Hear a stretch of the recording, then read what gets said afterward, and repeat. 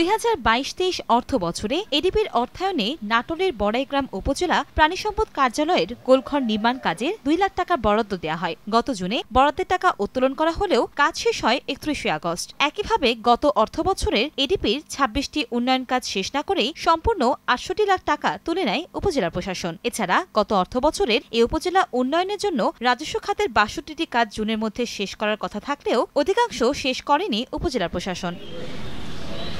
রাজস্ব খাতের উন্নয়নের তালিকায় থাকা ইউনিয়ন পরিষদ ও সরকারি বিভিন্ন দপ্তর সংশ্লিষ্টরা জানেন না তাদের উন্নয়নের জন্য বরাদ্দের কথা। যেটা সেলাই মেশিনের দুই লক্ষ টাকা বরাদ্দ সেটা আমরা জানিও না আমরা পাইও না। টয়লেট বরাদ্দ ছিল সেটা আমি সঠিকভাবে জানি না তবে কোনো নতুনভাবে ল্যাট্রিন তৈরি হয়নি।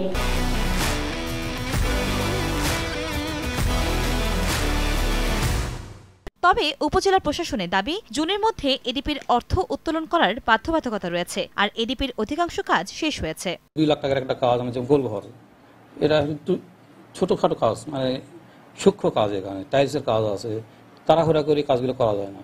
এই কাজগুলো মিস্ত্রিও সংকট আছে। বরাদ্দের টাকা প্রকল্প গ্রহণ করে অ্যাজ পার শিডিউল সব কাজই সম্পন্ন হয়েছে নির্দিষ্ট সময়ে।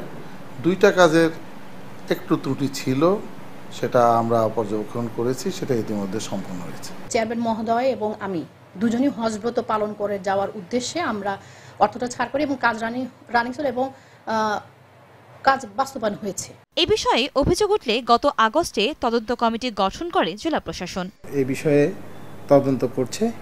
আমার কাছে তদন্ত প্রতিবেদন দাখিল করলে প্রশাসনিকভাবে যে যে ব্যবস্থাগুলো নেওয়া দরকার, আমি কঠোরভাবে সেই ব্যবস্থা গ্রহণ করব। স্থানীয় সরকার বিভাগের উপপরিচালক আশরাফুল ইসলামকে তদন্তের দায়িত্ব দেওয়া হলেও নির্দিষ্ট সময় বেঁধে দেননি জেলা প্রশাসক। কমিটির ধীরগতির কারণে এডিপি অসমাপ্ত কাজ দ্রুত শেষ করছে বলেও অভিযোগ উঠেছে। সময় সংবাদ, নাটোর।